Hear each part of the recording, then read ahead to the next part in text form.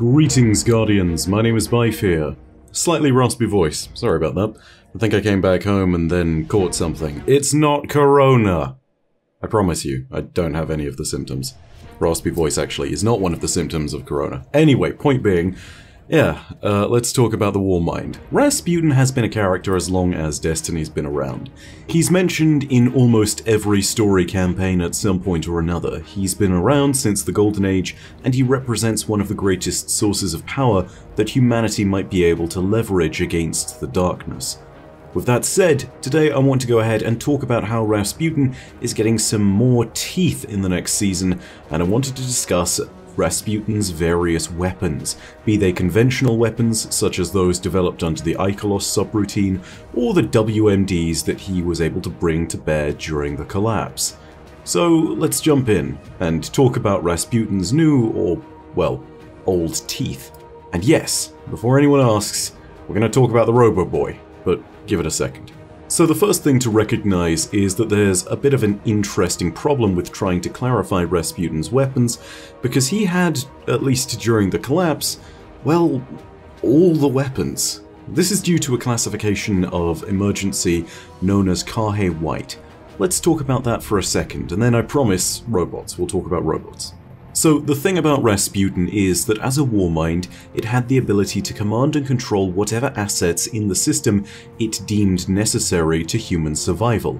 Now admittedly, this was only in the event of an emergency such as Kahe White or Kahe Black, but we get an idea of how far this power reaches thanks to the Marasenna and Last Days on Kraken Mare lorebooks. In the Marasenna, the Warmind Rasputin requests control of the Exodus Green so that it can be used as an artillery platform which orbits the system, using its own onboard guns as the weapon placement.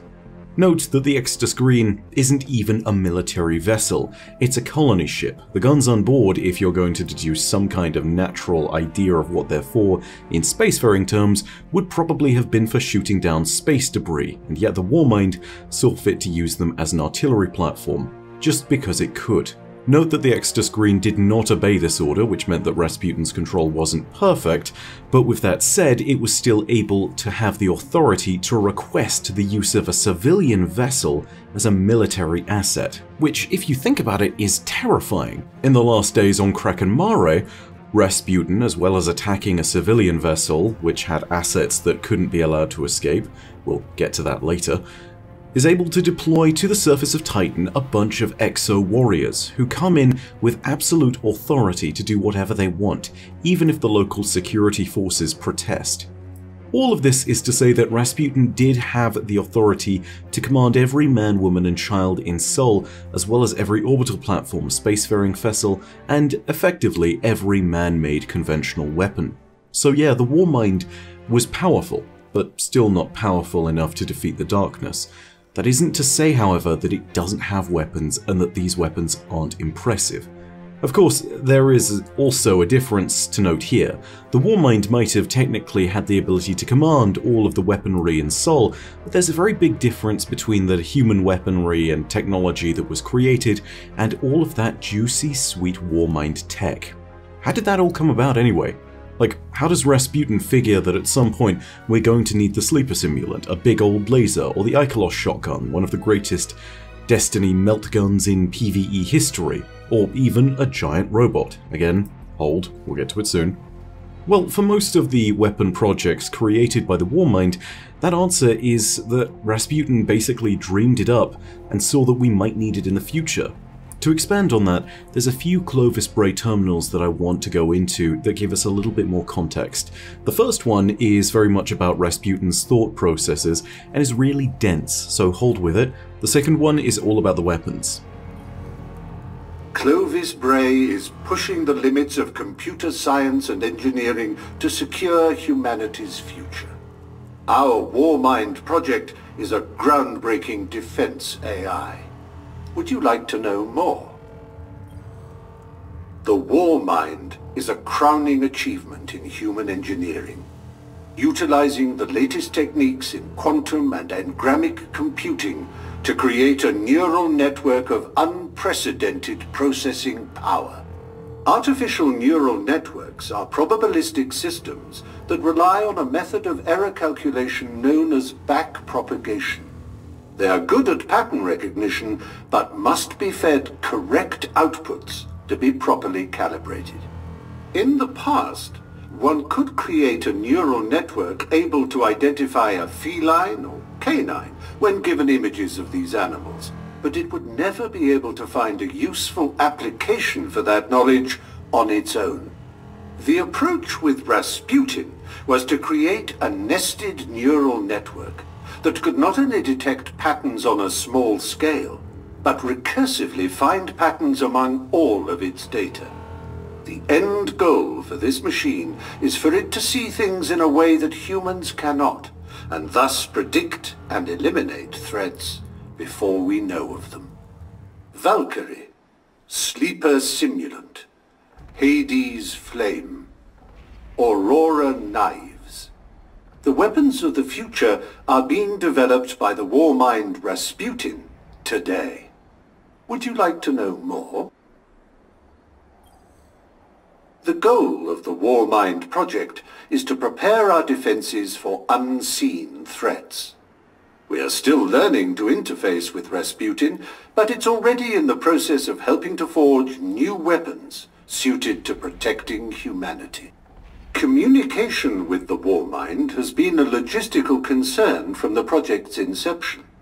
But the Hephaestus Index is a promising first step towards cooperation with our new commander and protector. This catalogue of next-generation weapons ranges from planetary cannons to small and mid-sized arms for use by ground infantry. There are currently over 150 projects in varying stages of research and development. By parsing data and performing calculations at a phenomenal rate, Rasputin is able to provide instruction in the form of math, the language of the universe. With Clovis Bray engineers and Rasputin working side by side, we can rest assured that our children will live in a prosperous, safe galaxy. So Rasputin has basically been planning for all the eventualities that we can't foresee, and the weapons that it creates were all part of its veritable cornucopia of solutions to the Darkness's invasion, or for that matter any other invasion or any other threat that might be imagined. It's pretty nifty stuff, but it also explains why Rasputin's weapons represent some of the greatest and most advanced technology in the entire system. So with all that said, Let's classify some weapons. I think it's best to list them into three categories. Conventional weapons, mechanized constructs and platforms, and WMDs. Because I promised robots, let's start with constructs and let's leave conventional weapons for a little bit. Okay, so Rasputin's constructs have really only been the stuff of legend for quite a long time. I guess you could count the war warsats and the frames in this category too quite easily, but for the longest time I wouldn't have even considered this as a separate category of weapons. War Warsats aren't even technically weapons as far as we know, they're information gathering platforms. They give Rasputin eyes in the system as far as we can best tell. Whenever one of them crashes down, Zavala has the chance to tell you that there's solid information and intel that we should be recovering from them so that gives us an idea as to their function. And frames, well, I mean, frames are frames. I'm pretty sure most people know what they are. You know, small robotic servant, not technically a true artificial intelligence like an exo, but they definitely have some small personality quirks and they definitely do have some kind of intelligence to them. They are able to do complex tasks, but they aren't sentient completely. It's hard to ID whether they're sentient or not. All that being said, again, it didn't really mean that any of this amounted to a category of what I would call weapons. That was until Rise of Iron came along, and Rise of Iron changed everything. Rise of Iron told us a whole lot about Rasputin, Siva, and the Iron Lords, and in particular it told us about the Battle of the Plague Lands, where the Iron Lords marched in force and tried to reclaim Siva. Rasputin thought that was pretty cute, and promptly unleashed Siva on the Iron Lords, destroying all but two of them. I hesitate to use the word killed because if you've played the end of Rise of Iron, you know that that's not strictly what happened. When recounting the slaughter in the final mission of Rise of Iron, Saladin notes the following about the defences that Rasputin called in. Only a few of us reached the replication complex. The worst of Rasputin's defenses had already blanketed this entire area. Frames. Constructs. Some things I haven't seen before or since. They felt no pain. No fear. This was the point at which the legend of the Warmind's construct army was really born, and to be honest, we haven't seen much of it since, either mentioned or otherwise. There have been bits of concept art here and there that talk about the potential power of a Warmind, those I believe were created over at Vicarious Vision, but I could be wrong, they might have been from Bungie. Having said all of that, there was something that came up recently, and yes, it's this chunky boy in the trailer for the Season of the Worthy. It's unclear what we can tell about this construct at current, but what is clear appears to be that we'll be seeing more stuff like this in the future. Rasputin has begun to launch a whole new series of warsats into orbit, and given the escalation in the system, this is bound to be part of a similarly escalating response on Rasputin's part. These mechs appearing now might be a sign that Rasputin is starting to rouse his true army, his true defenses, and if that is the case, then we're going to see the destructive potential of these particular monstrous constructions. Having said that, what can we identify about it? Well, not much. I hate to say it, but realistically, there's not much we can say about Warmind tech generally. If this is going to use some kind of ammunition, the likelihood is it uses Seraph rounds, similar to those found in the Ikelos protocol weapons, or at very least uses some kind of powerful energy source similar to that of the Valkyrie. The weapon adjoined to its back at least seems to indicate that and it follows a lot of the Warmind design motifs, both for the Warmind itself and for its weaponry. The Ikelos shotgun, the Ikelos SMG, the Ikelos sniper, the Ikelos hand cannon, and of course Sleeper Simulant and Outbreak Perfected all have a similar design aesthetic to this strange new mechanical monstrosity. It all looks as though it's plated in metal and carbon fiber, which in certain terms is going to give that thing a lot of heft, but may also provide it with a lighter weight design. On top of all of that, you can probably tell by the very size and nature of this thing that it's going to be powerful. This thing is capable, I think, of being either quadrupedal or bipedal simply by the way that the arms are placed. Or would you call them legs in that instance? I'm not sure. Either way, I would expect this to be a versatile weapons platform, and the first of many constructs that we're going to see in the coming years. This is something that we need to keep our eyes on, because these are going to be Rasputin's biggest weapons out in the front, with the exception of us, at least on a terrestrial scale. All of this goes back to a simple point that we have a recognized pattern within the system, and as you remember in the audio logs, Rasputin is very good at recognizing patterns. The clear pattern is an escalation of conflict, and Rasputin is going to be arming himself as time goes on. If you're seeing these frames and constructs now, I would find it remarkably unlikely that we won't see more of those defenses deployed on all fronts in the coming years. I'd also say at the same time that the frames and warsats being launched into orbit as we speak is further indications of this. Rasputin is done awakening. Now he's testing his might, determining the weight and heft of his sword, and preparing to swing it and strike again. However, Rasputin has far more than just mechanical forces under his command. He also has weapons befitting the scale of a defense system responsible for all of Sol. It's here we're going to talk about WMDs. There's quite a few that are named within the lore, but the reality of them is that, quite simply put, they're poorly explained, and this makes a lot of sense, not only because of the period of time in which they were used, but also because of Bungie's general storytelling ethos when it comes to the collapse. The collapse is a time that has been lost to human records. Nobody quite knows what's going on, nobody quite knew what happened, and by that same token, a lot of the stuff that we thought we knew is in fact myth, legend, and speculation, rumour. There is in fact a point to be made here about the Warmind itself. For the longest time, people believed that subminds, such as Charlemagne, were in fact other Warminds, and it turns out that's not the case. They are all one being, one war mind known as Rasputin. Yes, there were most certainly distinct intelligences, such as Malahayati, that referred to Rasputin as the Tyrant, but it is unlikely to see the possibility that Rasputin is able to look at any of those as anything other than lesser beings, even if he does call them brother and sister. The whole point I'm trying to make here to bring it all back is that there is no good information about many of the WMDs that Rasputin used during the collapse. However, we do get at least a small snippet from what is found here. Ghost Fragment Mysteries. It's an old grimoire card and it's spoken from Rasputin's perspective. Just to read a little bit of it gives us a little clue as to what might have been back in the day with regards to Rasputin's power. It reads as follows Consider it, the power Titanomach, world ender, and consider what it means. I met it at the gate of the garden, and I recall it smiled at me before before it devoured the blossoms with black flame and pinned their names across the sky. It was stronger than everything. I fought it with aurora knives, and with the stolen unfire of singularities made sharp, and my sweat was earthquake and my breath was static, but it was stronger. So how did I survive?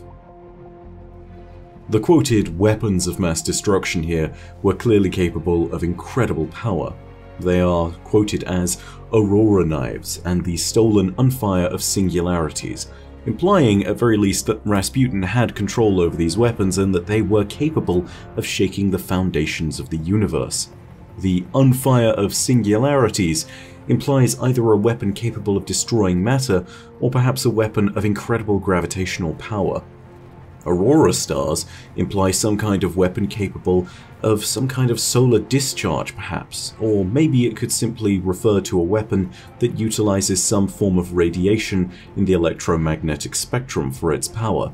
Auroras are created when the sun's heat is reflected off of our Earth's atmosphere, creating an aurora borealis if you are able to see it. And so, if you see that, you will notice that that's predominantly all EM waves. It's all radiation that's being reflected by our Earth's atmosphere, hence why I speculate that it could use some kind of energy from within the EM spectrum.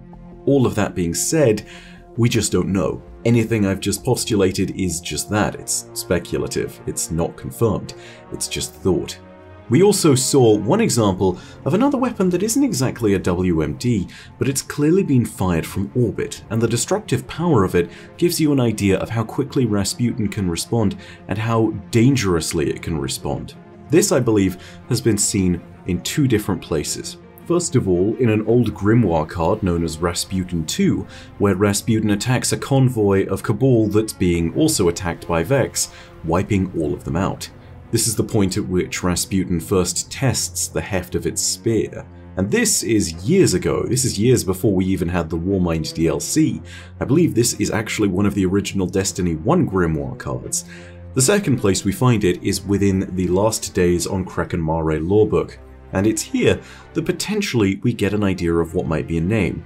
It's possible that this is just a name given to the chapter in the lore book, but it's nice to think that this might be the name for the weapon itself, and that name, potentially, is Kalki's Burning Sword. Now remember, not confirmed, not confirmed whatsoever, this could simply be a way of describing the destruction that this weapon unleashes, but regardless, we can tell how powerful it is. Take a listen to this. The beam kisses the rising shuttle and cuts through it like a wire through a block of butter, as if the ship and everyone inside were as thin as the hydrocarbon sleet. Thunder booms louder than Earth's through heavy nitromethane air. Maya watches the debris strike the smooth black ocean and sink. She can't breathe. There is something like a whittled mulberry branch stuck in her throat. Do you realize this is your fault? Morgan too groans inviting no dispute about whether it is in fact Mia van der Ven's fault. Yes, in a complicated way, but rather asking her if she accepts it. Do you see Mia?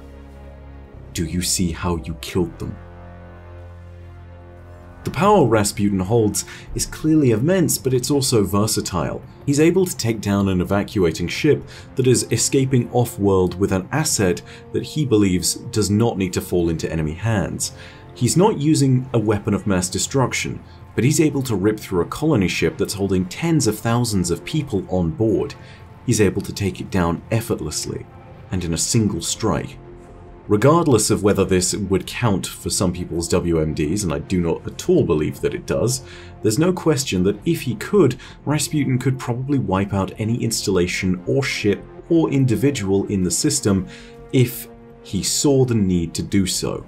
And that isn't to say that those with some kind of paracausal power are completely immune.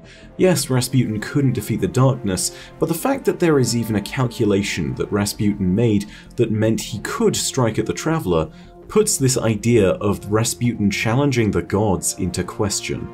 Now keep in mind, just a little small note on that thing of whether Rasputin shot the Traveler or not, it's clear that the plan existed, what isn't clear is whether Rasputin undertook it, and the indications at current lean towards the side that indicates that he might not have.